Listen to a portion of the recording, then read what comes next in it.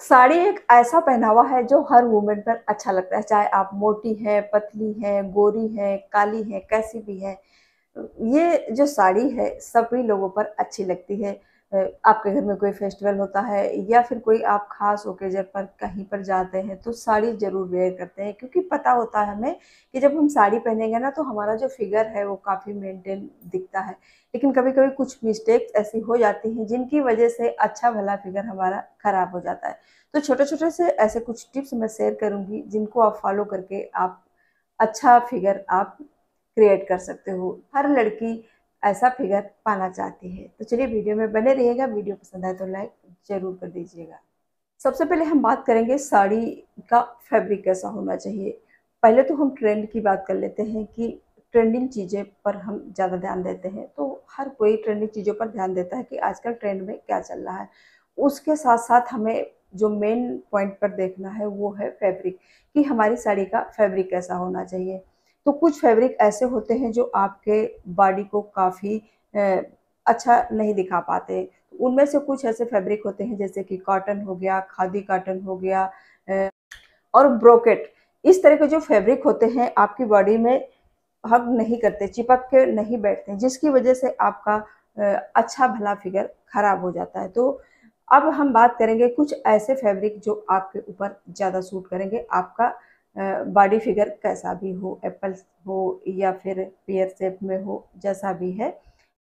अब जो आपको फैब्रिक चूज़ करने हैं, उनमें है सॉटन शिफॉन, जारजेट, लेकरा और नेट। इस तरह की साड़ियाँ हैं, आपके ऊपर काफ़ी अच्छी लगती हैं। इसके साथ साथ जो मेन बात इनमें ध्यान भी देने वाली है कि इनके जो ब्लाउज होते हैं वेल फिटेड ब्लाउज होने चाहिए इनके ऊपर, क्योंकि इनका जो फैब्रिक होता है ना, काफ़ी पतला होता है। अगर आप ढीले ढीले और कहीं से भी फिट ब्लाउज नहीं है तो वो उतने अच्छे आपका फिगर नहीं शो करेंगे। ब्लाउज हो सके तो ज़्यादा लंबा थोड़ा सा सिलवाइए, पेट ज़्यादा ना दिखे, क्योंकि जब ज़्यादा पेट दिखता है ना तो हमारे ये जो कट्स होते हैं ना, वो काफ़ी ज़्यादा दिखाई देते हैं। कुछ लेडीज़ को लगता है कि जितना ये चीज़ दिखेगा, हमारा ज़्यादा अच्छा लगेगा, ऐसा बिल्कुल नहीं है। क्योंकि यहाँ के जो कट्स होते हैं ना, जब दिखते हैं ना तो साड़ी का लुक आपका फिगर पूरा बेकार, खराब लगने लगता है। अगर जितना ज़्यादा हो सके, उसको आप बंद करके, ढक करके पहनिए। ढकने का मतलब यानी कुछ लेडीजों को क्या होता है, जैसे ये जब साड़ी ऐसे पहनती है ना, जो ये प्लीट्स के बगल में जो कपड़ा बसता है ना, उसको उठा करके यहाँ ब्लाउज में टक कर लेती हैं सेफ्टी पिन की मदद से। वो बहुत ही बेकार लगता है। उसको टक नहीं करना है। उसको टक करने से आपका फिगर अच्छा भी है, वो भी ख़राब दिखने लगता है। इसके वजह आपको क्या करना है, साड़ी को थोड़ा सा ऊपर से पहनिए इस तरह से कि आपको ये एरिया ढकना है। तो उसको ढकने के लिए ये कपड़ा उठा करके ब्लाउज में टक ना करके आपको उसको छोड़ देना है और अपना ये कमर का जो भी कपड़ा है, ये जहाँ से आप पेटीकोट बांधते हो, उसको थोड़ा सा ऊपर से बांधिए। तो जब आप साड़ी इस तरह से ओढ़ोगे ना तो वो पूरी तरह से ढक जाएगा और काफ़ी अच्छा भी दिखेगा। इस तरह से आपका फिगर अगर ज़्यादा हैवी भी है, कोई प्रॉपर शेप नहीं है, तब भी काफ़ी अच्छा दिखेगा। क्योंकि ये सो, ये जो बाकी चीज़ें, ये जो पीछे का मोटा एरिया है, ये ढक जाएगा ना काफ़ी अच्छे शेप में दिखेगा। तो आपको इस तरह से जो मैंने पतले कपड़े में ये साड़ियाँ बताई ना उनको आप इस तरह से वेयर करोगे तो आपका लुक प्रॉपर सेप में अब हम बात करेंगे कि साड़ी में प्रिंट होना चाहिए या प्लेन होना चाहिए या बॉर्डरदार होना चाहिए। तो अगर आप थोड़ा सा ज़्यादा फिट दिखना चाहते हो तो चौड़ा बॉर्डर नहीं लेना है। मीडियम साइज़ का बॉर्डर लेना है। थोड़ा सा थिन बॉर्डर लेना है, या फिर आपको बॉर्डर बिल्कुल बॉर्डर नहीं लेना है, उससे आपका फिगर काफ़ी अच्छा दिखेगा। और कुछ साड़ियों में बॉर्डर ज़्यादा चौड़ा होता है ना तो ज़्यादा चौड़ा होने की वजह से आपका जो ये पूरा बॉडी की लेंथ है ना, वो कट जाती है ना, चौड़े बॉर्डर की वजह से। जब कट जाती है ना तो आपकी हाइट कम ज़्यादा, कम दिखने लगती है।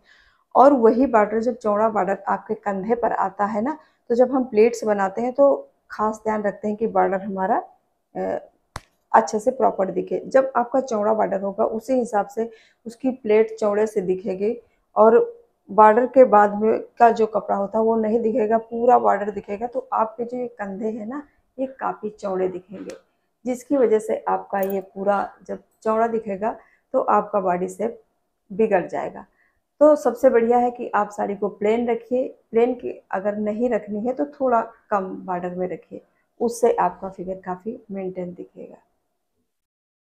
अब बॉर्डर वाली साड़ी ले रहे हो तो उसमें भी आपको कुछ ध्यान देने वाली बात है।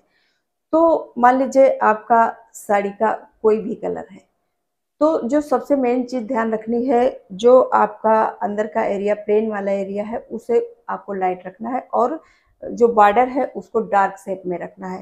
डार्क कलर में रखना है सॉरी तो जब आप उसको कंधे पर डालोगे ना या कमर से लेते हुए आओगे ना तो वो जो डार्क कलर है बॉर्डर का, वो ज़्यादा सो होगा और ये जो बीच का एरिया है, ये लाइट रहेगा, ये कम सो होगा तो आपका फिगर ऑटोमेटिक अच्छा दिखेगा। क्योंकि जब दोनों कलर डार्क हो जाएँगे ना तो वो पूरा हैवी हैवी दिखने लगेगा। जब बीच का एरिया लाइट रहेगा, बॉर्डर डार्क रहेगा तो जब यहाँ से कमर से लेते हुए आओगे ना तो पूरा किसी का ध्यान उस बॉर्डर पर जाएगा और ये चीज़ ज़्यादा निखर करके आएगी। तो इससे आपका जो भी फिगर ज़्यादा हैवी बना हुआ है या फिर कोई सेप नहीं है तो उसमें थोड़ा सा सेप क्रिएट होगा उस बॉर्डर की वजह से। तो बॉर्डर को आपको डार्क कलर में रखना है और बीच का जो भी पार्ट है वो आपको लाइट रखना है। इससे भी आपका फिगर काफ़ी अच्छा दिखेगा।